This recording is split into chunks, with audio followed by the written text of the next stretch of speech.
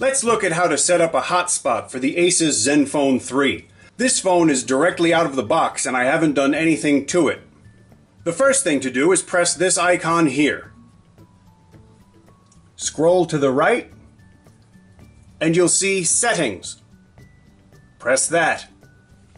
Your first option is Wireless and Networks. Press More.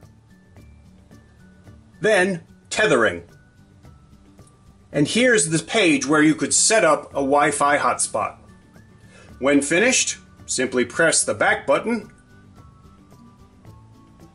until you return to the phone's home page. Please watch our other videos with more information on how to use the Asus Zenfone 3. Let's look at how to do a factory reset on the Asus Zenfone 3.